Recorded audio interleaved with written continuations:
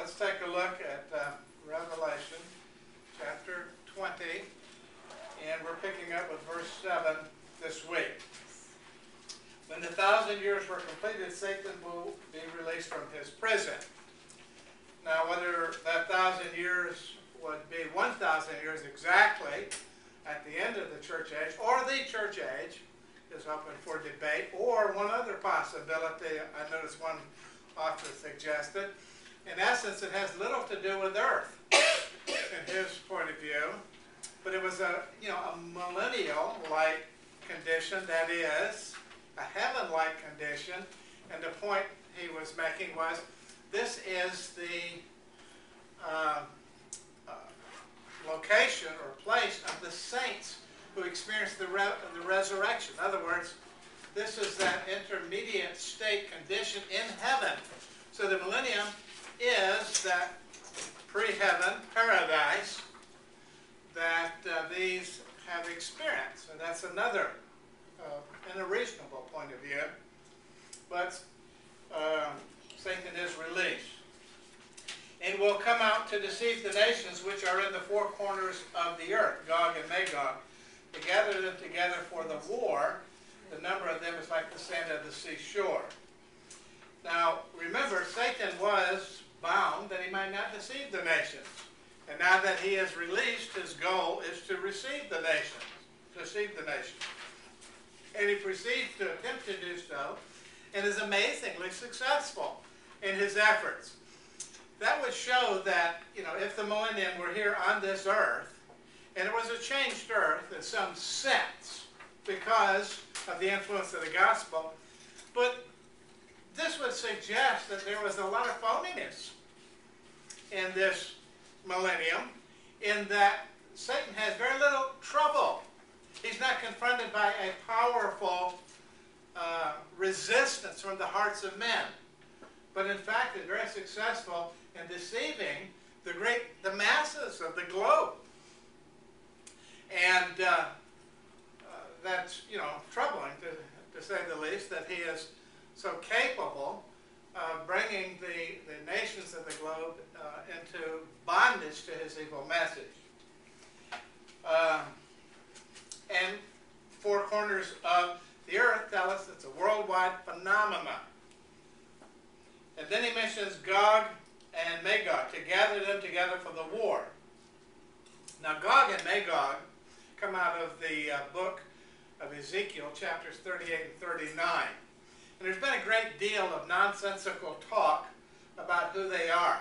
A lot of it's based on childlike sounds as to the, uh, you know, the, the sound of the words, Gog and Magog, and other uh, words in Ezekiel, how they uh, sound like similar cities and similar countries in our 20th and 21st century.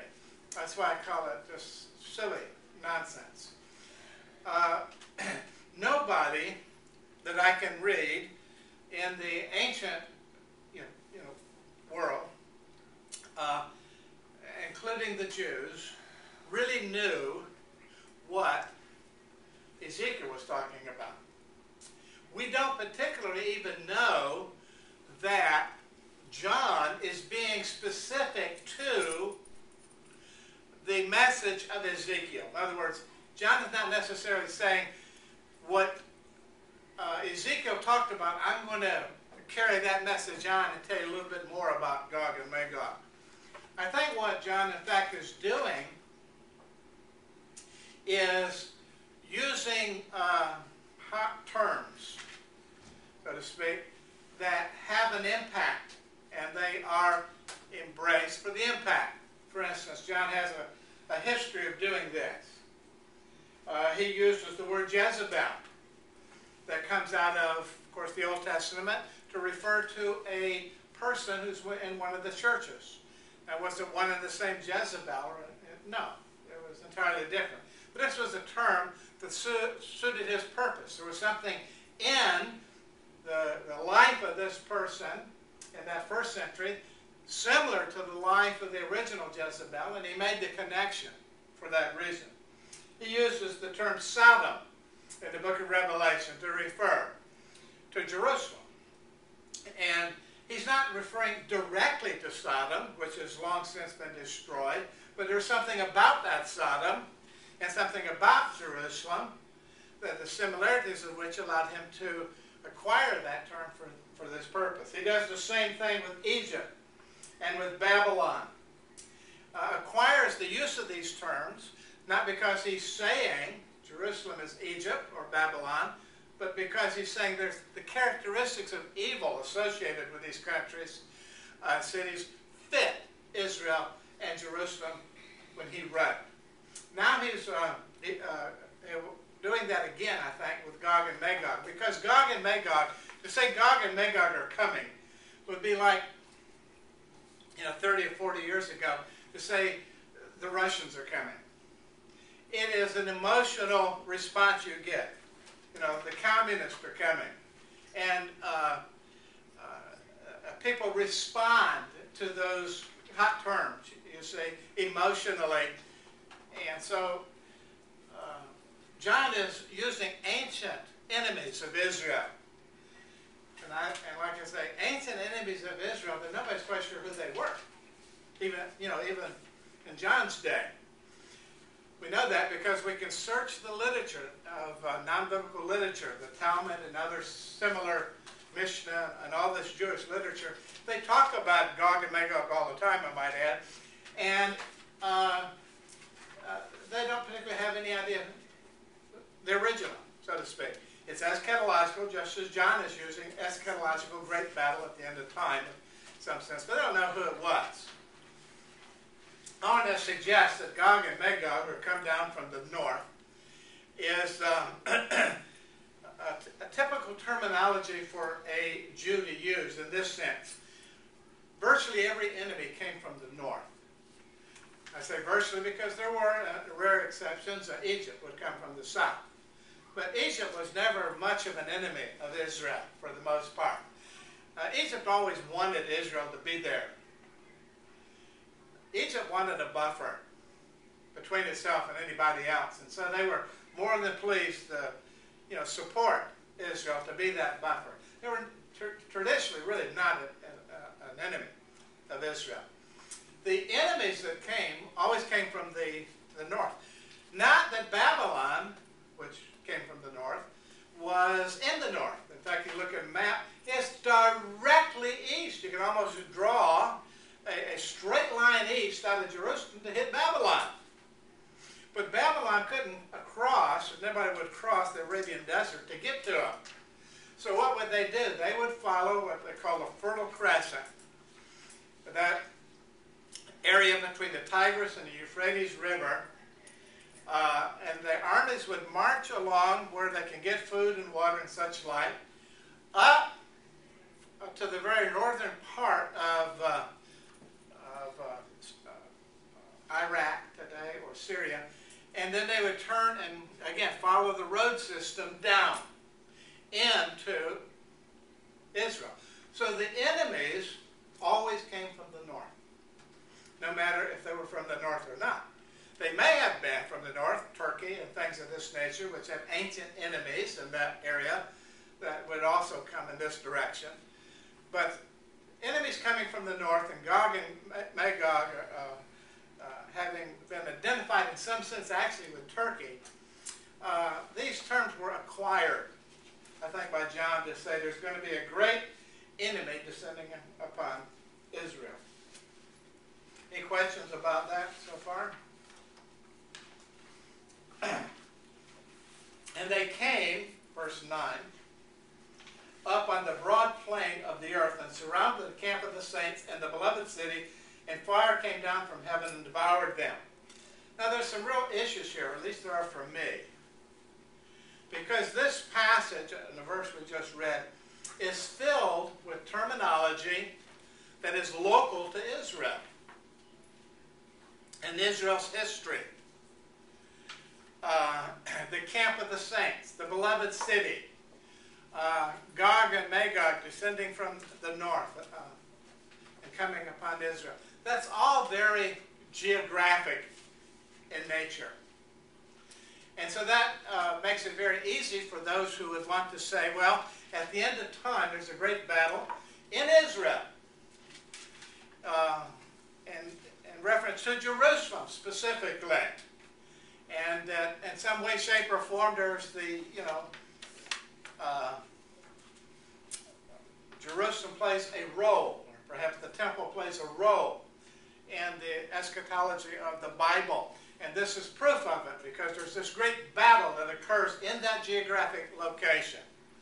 And you can see how they could make a case, a reasonable case for that. A couple of things you want to note, however, and a lot of people get confused about this. This battle right here involving Gog and Magog, which are after the millennium and, and right prior to the end of the world, is not the Battle of Armageddon. The battle, of Armageddon took place several chapters earlier.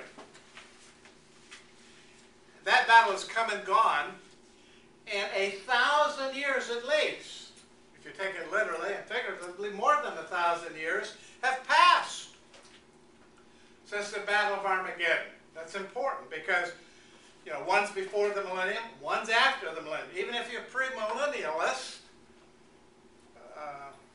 you still have a thousand years to separate these two battles. You have, in their mind, a rapture, seven years of tribulation, the coming of the Lord and setting up the millennium. A thousand years later, this happens. So you got a thousand years, minimal, between these two battles. So the Battle of Armageddon is not this battle, and vice versa.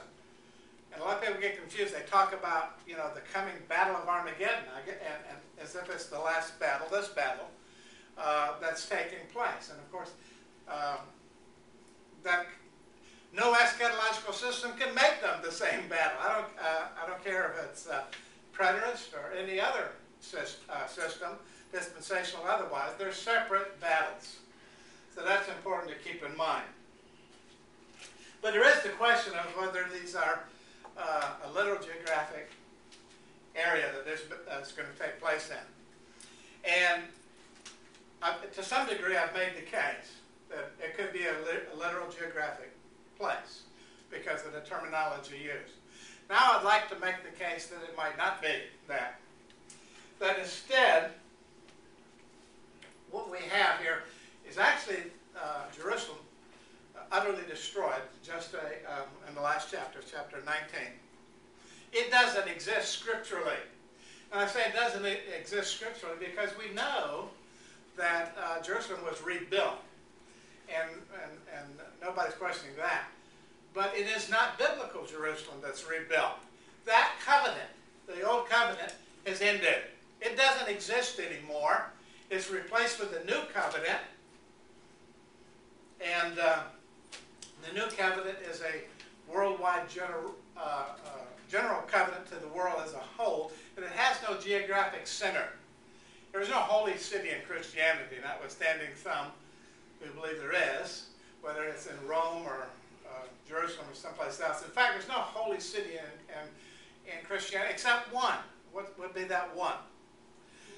The New Jerusalem is the only holy city mentioned, and we're going to discuss that actually in the next chapter. And, but that does play a role here in this chapter. Why? Well, you got to figure John is only a few verses away from discussing the New Jerusalem, does have in his mind this topic when he talks about the camp of the saints and the beloved city. I mean, that's a similar terminology. He knows the old Jerusalem's destroyed. He's just told us that. He knows he's going to be talking about the new Jerusalem in just a few verses. And then he, he uses this terminology.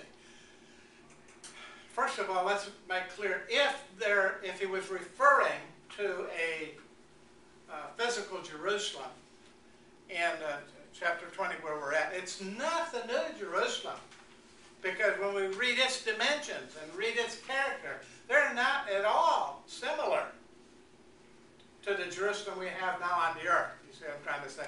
Entirely different entities. So what Jerusalem would he be referring to? The one he's getting ready to talk about in more detail. He's getting ready to talk about the New Jerusalem the church of Jesus Christ. That's the one that's under attack here at the end of time. Now, what helps us clarify that, he talks about this army coming up around the camp of the saints. Uh, now, the, the camp existed in a, a, a, the saints existed only in a 40-year period during the wilderness wanderings, when there was a camp. You see, and uh, the, the uh, tabernacle was there, and the uh, tribes were laid out a somewhat symmetric pattern around the tabernacle, and they camped for 40 years as they dwelt in the wilderness. Now that's come and gone. Now the question is, you said, well, there's going to be, you know, a rebuilt Jerusalem, rebuilt temple. Is there going to be a rebuilt camp? You say, that does that fit? Well, you know, he appears to be using symbolic language here because he's not uh, telling us that there's going to be some, you know, if there was a rebuilt camp, it would really be in opposition to Jerusalem. You've got to make up your mind. Where is the community of faith? In the camp or in Jerusalem? See what I'm trying to say? He's using terms, however, both of which say the community of faith. The community of faith is going to be under attack. The people of God. And that's the point I'm trying to make. He's using uh, somewhat you know, historic and literal terminology that we can grasp but he will flesh out this Jerusalem thing in the next couple of chapters and help us understand that this is the community of faith that's under attack in this last day. Now, I, I can readily see why, how somebody could say, I just don't buy that, and I'm going to go with some type of literal physical army of who knows how many millions that are going to come up and, uh, you know, last days into uh, land of Israel, and God's going to kill them all. Well, I can see your case. I don't subscribe to it. I think it misses the point. Uh, the point being that uh, the book of Revelation is about a tale of two cities, one destroyed, the other put before our eyes as the new community of faith. And it has no geographic limitations other than for the purpose of building a picture for us to get some sense in which Satan is going to attack the community of faith in a very effective way in the last days. Any questions about that for me? That unpersuasive, persuasive, somewhere in the middle? Uh, what are your thoughts about that? Anything? Okay then we will uh, move on. And fire came down from heaven and devoured them. So, uh, this is a short battle in some sense. There's some type of undefined revolt. And, and all this is, is obscure. And the reason it's obscure is because it is in the future. Almost anything in the book of Revelation, you can go back in history to the writers of the first century who provided political and uh, uh, economic and military uh, social history that we can identify as being spoken of in the book of Revelation. But when you get to uh, this point, uh, in, in which we've come really to the end of the world, that hasn't happened yet. And therefore, we can't quite be sure, shall we say, how this plays out because so few words are given to us. You know, we don't know how this period. It's a relatively short period, but you know, I don't know what that means. Is that uh, a week, a month, a year that Satan is loosed to do this thing, and he attacks the community of faith, and God destroys him. Being future is difficult to get our hands on. Uh, I would ask you a question. We, we have now come to the end of the world. In fact, verse 11 takes us right into the great white throne judgment. You know the world is over. Now we're being judged. My question to you is this. What happened to the rapture? We know that there's rapture. It's not a biblical term per say rapture, but the concept is biblical because Paul talks about it. The church is caught up, you see, and then it comes back. And we don't read about it here. Now, I don't know why we don't read about it here, because it would make my job a lot easier. I just point out the verse. You know, this is like what Paul said, and here's John saying it again, and yet John doesn't cover it. He covers this so succinctly that there's just so many things not here. It just gives us, you know, the bare outline. But if there's going to be, and there is, a rapture, notice where it says the, uh, in verse 9, uh, talks about the camp of the saints and the beloved city. And right before the phrase, but fire came down from heaven, right in there, that's where it's going to take place. You see? It's got to take place somewhere, you know, right at the end of time. But before, you know, every, everything's destroyed, you see. And that would be the most logical place for the rapture to take place, right? In the middle of that sentence. If John cared to discuss it, which, uh, know, he did. But let's just discuss it a little bit. Let's read something from uh, Paul, 1 Thessalonians 4, 16, where he says, For the Lord himself will descend from heaven with a shout, with the voice of the archangel, with the trumpet of God, and the dead in Christ will rise first. So we have a resurrection taking place at some point in the future when you know when Paul was writing in the distant future, in which the dead come out of the grave.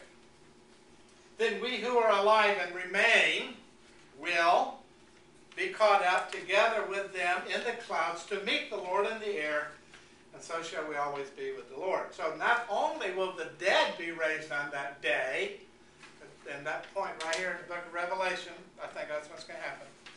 But those saints, remember the saints are being surrounded in the communities in which they live and are under attack and are being persecuted, probably martyred, and uh, there's going to be a great genocide of Christianity upon the face of the earth. And just at that time, when they're just ready to whack the heads off of Christians, so to speak, poof, they're gone.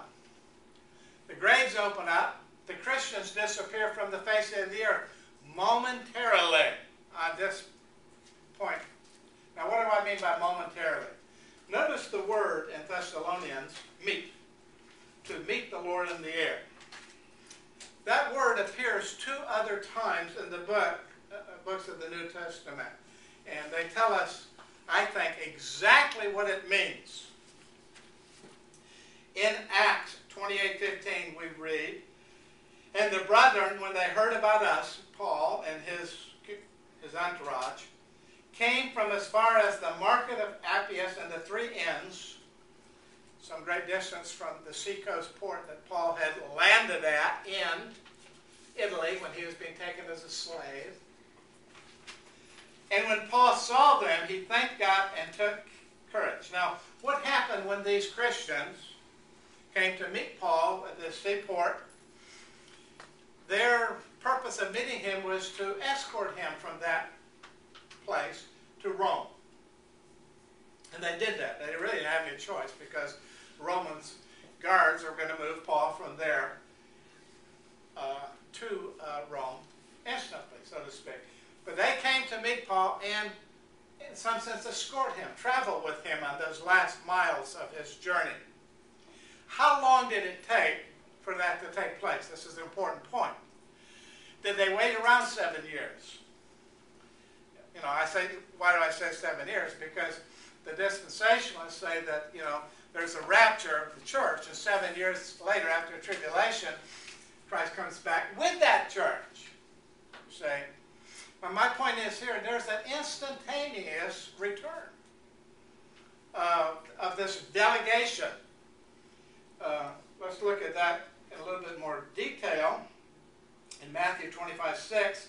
But at midnight there was a shout, Behold, the bridegroom come out to meet him. Of course, this is a parable, you remember from the Gospels, in which Christ is talking about his coming in, in parabolic form. And he talks about how the, the virgins go out to meet the bridegroom. Of course, now what's the focus of the bridegroom? It's on the bride. and they're not, I don't think, going to hinder him for seven years. He's got a, a, a mission uh, in mind, and that mission is get to that bride. And so that's an instantaneous thing. They go out to meet the bridegroom, to escort him in this party like festival that's going on. But it's an instantaneous thing. They don't hang around for a long, long periods of time, especially years. But they instantaneously meet and return to the wedding feast. Now, this is typical in this sense. You, from time to time, reading carefully the news, you will read about some important individual that goes to Washington, D.C., and how uh, government officials, sometimes the president himself, will go down to the airport to greet and to, uh, you know, official delegation and to travel with this important individual, bringing him or her to the White House. To say? This is, this is a typical process for you know, thousands of years. Then delegations go out and uh, meet and uh, return with personages of importance. Well, that's what the church is doing. A personage of importance, the Lord of the church, the head of the church, the bridegroom, has come. The church goes out to meet him through the rapture. And immediately, like in these other two illustrations, return.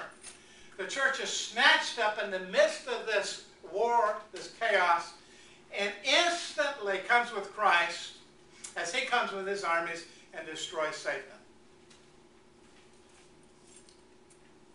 Is rapture used in the Bible? That word isn't, but you know the passages that we've read make the point that there is going to be a uh, resurrection of the dead, and we who are you know yet alive will be caught up together. The reason I ask is I've heard some, and I've read some people, they, they don't believe in the rapture. They believe because it's not a term used. They believe in the second coming, and they're trying to distance themselves. Well, you could use that argument not to believe in the Trinity. The word Trinity is not in the Bible either. But as you study the Bible, you see that the Father, the Son, and the Holy Spirit are indeed three persons and one entity, mysterious as it may be, all of which are God, and all of which are one. So we get that together from the totality of Scripture, and we and we put a term on it. This is the Trinity. Uh, somebody says, "Well, that's not in the Bible, so it doesn't exist." Well, the word's not in the Bible, but it does exist. You say. And so, so, so it is with the return of the Lord. The passage was clear. The dead rise. We who are alive, caught up. Put a word on it. Let's call it the rapture. And words on the Bible, so it doesn't exist. It's still there no matter what words you put on it or don't put on it. Just say, the Lord is coming. And, and those two elements, the resurrection of the dead, and in some sense, you might say the resurrection of the living they take place. Paul spells it out. You see. And to meet the Lord in the air. And my point is, to meet is to give away. Because that word has history. And so if you want that word to mean something other than the history of that word, then you've got to make a good case for it. And I think it's easier for me to make a good case that it's an instantaneous return of the delegation. They went out to meet the coming Lord who is now coming to judge his creation. That, make sense to you? I hope.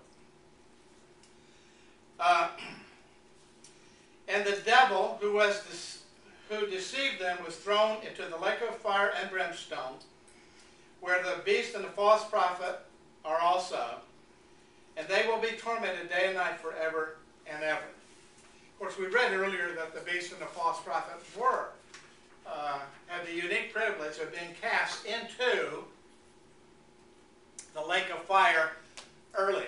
Now, we don't know that other people weren't cast into the lake of fire earlier than the final judgment, but we don't know that there were or weren't, for that matter. The implication is that only the beast and the false prophet were until the last day. And that the hell like condition for the rich man and Lazarus, remember the story. Uh, Lazarus, of course, stepped through the veil, opened his eyes, it was in Abraham's bosom. You know, the rich man, he also died, the Bible says, opened his eyes, and he was in hell and in torment. So some type of hell exists, some type of heaven exists before the final judgment in which, uh, you know, the, the details of that punishment, the details of that reward take place. You think? And so, and apparently the lake of fire is that final uh, judgment. And so uh, the devil is now on that last day cast there. And it says, forever and ever. Good words, because we don't see him again. He is bound forever and ever in the lake of fire at that point. We were told earlier that he would, you know, be, be uh, released from a certain restrictions. And he was, and the, and the term used was he's cast into the abyss, the bottomless pit, which is not identical with the lake of fire, but that he would be let out. We're now told that he is cast into the lake of fire forever and ever, not a millennium, but he will never be let out, nor will anybody else that joins him. Any questions about that? Then I saw a great white throne, and him who sat upon it, from whose presence earth and heaven fled away, and no place was found for them. Now, this is the first time we read about a great white throne. Now, we read about thrones all through the book of Revelation, but this seems to be a unique setting. And that setting would be the end of the world judgment that takes place. And um, now all are gathered to this great white throne. Uh, Matthew we read, But when the Son of Man comes in his glory, and all his angels with him, then he will sit on his glorious throne. Now there are some similarities there between what we're reading. His angels come with him, and of course they are the great uh, army of God. The Lord of hosts, you've heard that term, Lord of hosts. Host means army. The Lord of the armies of God and he sits on his glorious throne. Uh, Paul says to Timothy, I solemnly charge you in the presence of God and of Christ, who is to judge the living and the dead, and by his appearing and his kingdom. He's going to judge the living and the dead. That's what we are now facing. Those that didn't die, the rapture, those who had died, the dead in Christ rose first, the living and the dead, everybody's going to be there. Nobody's going to be missing. Um, any questions?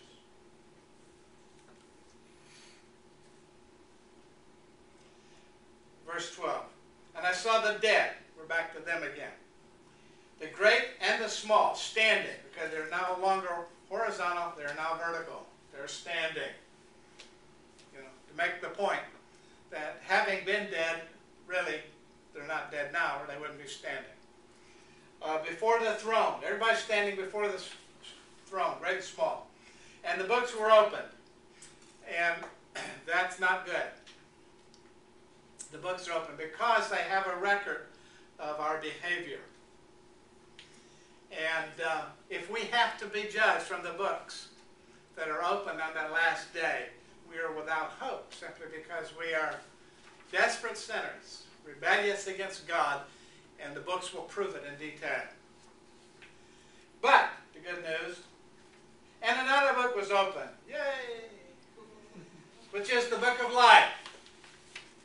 And the dead were judged from the things which were written in the books according to their deeds.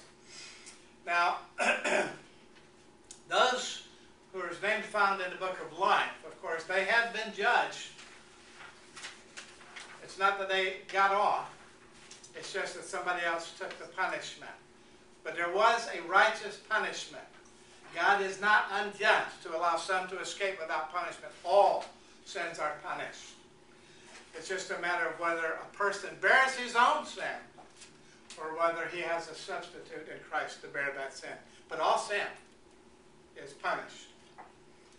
Uh, and notice that there is a punishment according to their deeds. The question is often asked, are there you know, levels of punishment in hell or levels of reward in heaven? I think the answer is yes to that.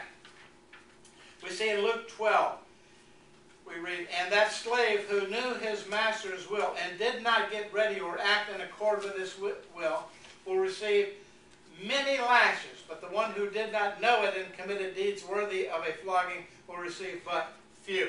So you see how you, you, you see here this uh, parable, I think, teaching the condition in eternity of the loss between uh, many and few, a great punishment and one not as great.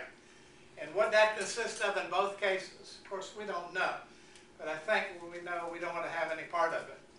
Uh, but there is a just God who judges justly those who are evil. Now, the fact that the Bible speaks of rewards tells us that the opposite is the case too. That in heaven, we're not all this great uh, egalitarian mass that receive the same reward no matter how little or much we did for the kingdom. But in fact, uh, we are told that uh, uh, the one who has uh, uh, done well receives more in the kingdom, and the one who's done less receives less. Uh, let's face it. The great saints of the Bible, Abraham, Isaac, Moses, Isaiah, and many more, Paul, they have done so much for God. They suffered so much. They believed so uh, such a holy faith, and God rewards them accordingly. Rewards all of us. Uh, but there are definitely uh, uh heaven's not a, a, a, uh, one of these socialistic uh, environments where everything, everybody's equal. Not equal in heaven. Yes, they. There are distinctions. What? We're not all winners. We're all winners in heaven. Because he made us winners. But we're not all equal in reward. Personally, I'm willing to take whatever shanty that they give me to live in and just be glad I got it, no matter where it is. You know, you got this little shanty down by the river of life. It's only 40 or 50 rooms, you know, made of gold things of this nature. Well, I'm going to have to just make do, I guess. yeah, no. I think anything in is going to be pretty, pretty nice. Uh, I'll read you John 5, 28. Do not marvel at this, for an hour is coming in which all who are in the tombs will hear his voice and will come forth. Those who did uh, those who did the good deeds to a resurrection of life, and those who committed the evil deeds to a resurrection of judgment. Now, what I'm trying to say here and deal with right here, the question is, are there many judgments? Are there many you know, resurrections? Are there many second comings? Uh, because you have that in dispensationalism. And they will talk about various judgments. They're not sure uh, between themselves which ones there are, but they have a lot of. Uh, you have judgments of the saved, judgments of the lost, judgments of the Gentiles, judgments of the Jews. You have the Old Testament believers judged. You have the New Testament believers uh, judged. You have those that died before the rapture, they're. Those who died after the rapture, those who died in the tribulation, those who died during the millennium. And how you're going to sort that out, how they sort it out, is just utterly ridiculous. The Bible really teaches one judgment on the last day, and not any of uh, these multiple judgments. But when the wheat sprouted and bore grain, then the tares became evident also. The slaves of the landowner came and said to him, Sir, did you not sow good seed in your field? How then does it have tares? And he said to them, An enemy has done this. The slave said to them, Do you want us then to gather to go and gather them up? And he said, No. For while you are gathering up the tares, you may uproot the wheat with them. Allow both to grow together until the harvest. And in the time of the harvest, I will say to the reapers, First, gather up the tares and bind them in bundles and burn them up, but gather the wheat into my barn. There is one uh, judgment at the end of time there, although of two different people being judged. And the nations will be gathered before him, and he will separate them from one another as a shepherd separates the sheep from the goats. And he will put the sheep on his right hand, the goats on his left. Now that's one judgment in which the lost will be judged and the uh, saved will be rewarded, judged and rewarded. And but it's one judgment on the last day, not a not a variety of judgments. Uh, any questions? And the sea gave up the dead, which were in it. And death and Hades gave up the dead, which were in them. And they were judged, every one of them according to their, their deeds. I'm always, uh, well, more than suspicious, that when my, the modern day man dies, we have this phenomenon. It's not inherently evil, I don't want you to get that idea. This modern day phenomena, though, that everybody wants to be cremated. This is utterly contrary to the last 2,000 years of Christian history, in which the body was preserved in honor and, and waiting for the last day the resurrection. Not that, you know, you had to do that because God calls to the, the sea, and the sea gave, gives up its dead. I mean, you know, not necessary. It was just an attitude. You see what I'm trying to say? And I think this attempt uh, to uh, destroy the body uh, as the, the, in this cremation thing that's so popular these days, is an attempt to avoid the last judgment. An attempt to uh, avoid accountability for sins. When you die, you die, and it's all over, and God will never find me anyhow, because I'm just going to, you know, be burned up and, and all my ashes spread to the wind, and lots of luck finding me. As if, what kind of God is that? You'd have a hard time with that. You see what I'm trying to say. But in fact, we see death and Hades were thrown into the lake of fire. And the, excuse me, the sea gave up the dead, which were in them. And death and Hades gave up the dead. You know, death is just a concept of non-living. Hades is, means the grave, more often than not. The grave, the sea, death itself uh, cannot hold one when God says, come forth. Everything is going to come forth, you see. It's been said, rightly so, no doubt, that when God told Lazarus, Lazarus, come forth, If he left Lazarus' name off, there would have been a big resurrection right there on the spot. You see what I'm trying to say? Everybody would have responded then, as they will on this last day when he says, Come forth. And uh, it will include everybody. The sea gives up its dead, the grave gives up its dead, death gives up the dead. All come to life to stand before that great white throne judgment. I can picture it. You know, it's like it's, white, and it's like you know, ten thousand miles high and everybody's down there gathered around, and there sits the judge of the universe. Goats on the uh, left, and uh, sheep on the right. and, and the judgment takes place. However long, I don't know what kind of sense of time take, is involved, but there's, I don't think any of us will get tired as God does when He's there today on that last day. And uh, we enter our eternal reward. then death and Hades were thrown into the lake of fire. This is the second death, the lake of fire. Paul says in 1 Corinthians 15, the last enemy that will be abolished is death. Death itself will cease to exist in God's universe at this point. We cast into the lake of fire. And if anyone's name was not found written in the book of life, he was thrown into the lake of fire. Those are the conditions. The book of life. The books, in general, don't send you to hell. It's the fact your name is not found in the book of life. You see, that's what sends a person to hell. That book of life was created before the foundation of the earth was ever created. And the names were already pre-written in there. As uh, Paul tells us uh, in, in Ephesians, before the foundation of the world, we were chosen in Christ Jesus. And our name's written in that book. So, this is how the world ends. Finally, as we study through the book of Revelation, we get to the point where evil is um, finally done away with in God's universe. And, and the lake of fire and the eternal rewards in heaven become the eternal condition of